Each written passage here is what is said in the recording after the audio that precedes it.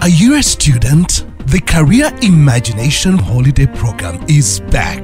This September, on the 5th, 6th, and 7th, 2016, at Kitante Primary School, come learn hands on skills in arts and crafts, computer skills in coding, graphics design, animation, editing film and television production. We will also have online training in work skills and entrepreneurial skills.